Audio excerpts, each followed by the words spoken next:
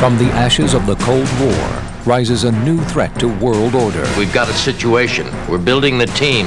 You're on it. Rogue operatives have turned mercenary, forming dangerous new alliances to challenge world peace. What drives this game is reality. We asked the men who ran the two largest spy agencies in the world, what keeps you awake at night? What are the most dangerous scenarios looming in our future?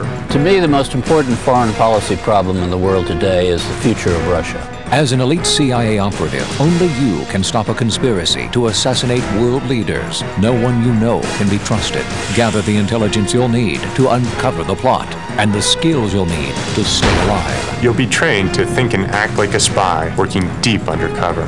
Forced to make life and death decisions and tough moral choices. You can also take your investigation online and in real time communicate with a shady double agent, or you can acquire important clues from other players, if you think you can trust them. Every single puzzle, every single decision that the player is forced to make is taken from events right out of Colby and Kalugin's careers. As in the world of espionage, the line between right and wrong, friend and foe blur.